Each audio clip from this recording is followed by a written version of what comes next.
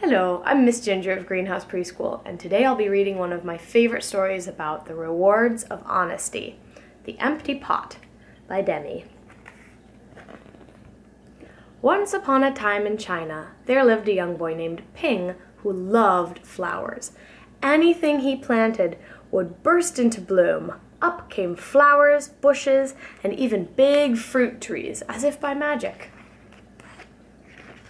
Everyone in the kingdom of China loved flowers too. There were so many things in bloom. Everyone planted flowers everywhere, and the air smelled like perfume.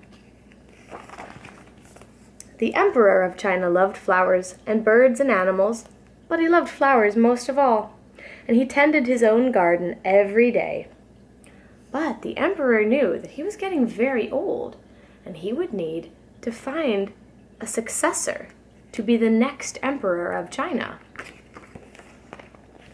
Hmm, who would his successor be, and how would he choose? Since the emperor loved flowers so much, he decided to let the flowers choose. The next day, a proclamation was issued. All the children in all of China may come to the palace. There, they will be given a special flower seed by the emperor. And the emperor told them Whichever child can show me their best in one year's time will succeed me to the throne and become the next emperor of all of China. Well, of course, the news created great excitement, and all the children lined up to receive their flower seeds from the emperor. All the parents wanted their children to be chosen by the emperor also, and all the children certainly hoped they would be chosen too. When Ping received his flower from the emperor, he was the happiest child of all. He was sure that he could grow the most beautiful flower. Ping went home and filled a flower pot with very rich soil. He planted the seed in it very carefully.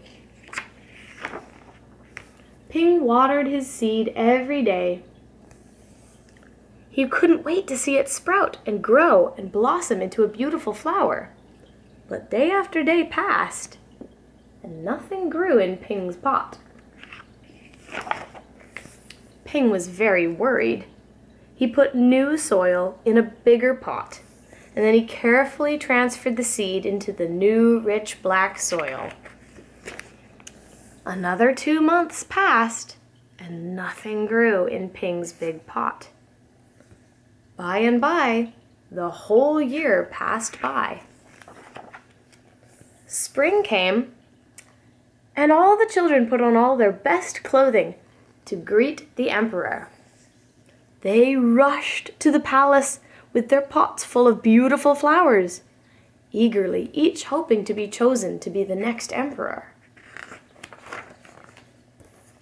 Ping was so ashamed of his empty pot.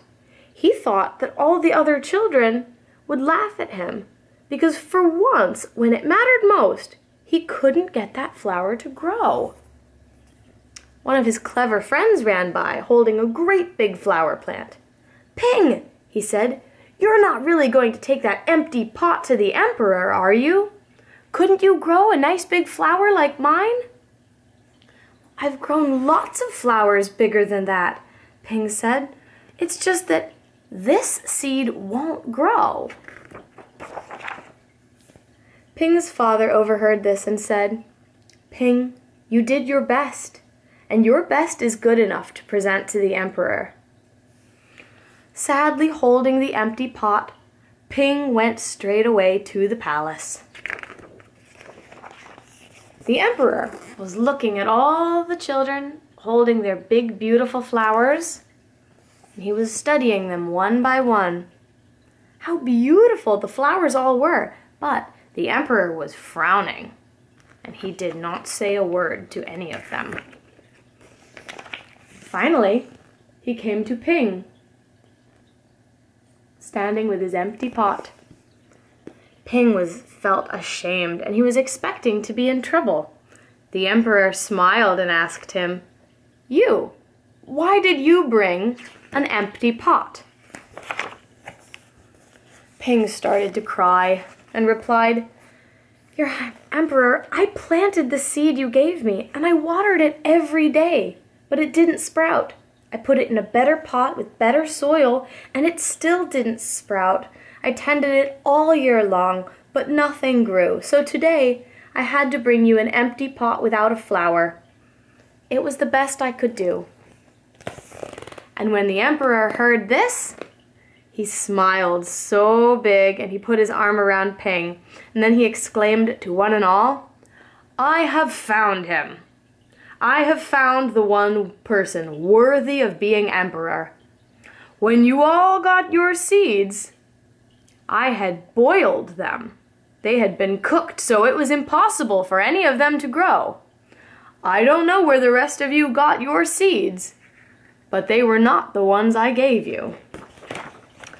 I admire Ping's great courage to appear before me with nothing but the naked truth and now I reward him with my entire kingdom and make him emperor of all the land. And so it was. The end. Thank you for listening.